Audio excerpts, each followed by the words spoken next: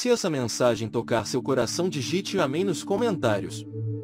Deus mandou te dizer: Meu filho, eu sou aquele que te fortalece e te dá as forças necessárias para enfrentar qualquer desafio que apareça em sua vida. Eu te criei com um propósito e com habilidades únicas para cumprir essa missão. Não se preocupe com as adversidades, pois elas não são maiores do que a força que eu coloquei em seus braços. Use essa força para superar obstáculos e ajudar aqueles que precisam de você. Lembre-se sempre de que eu estou ao seu lado, mesmo nos momentos em que parece que estou distante. Nunca perca fé em mim e siga sempre o caminho da verdade e da justiça. Com a força que eu te dei, você é capaz de fazer coisas incríveis e alcançar os seus objetivos mais ambiciosos. Que a minha bênção esteja sempre com você, meu filho. Que você nunca esqueça o quanto é amado e o quanto é importante para mim.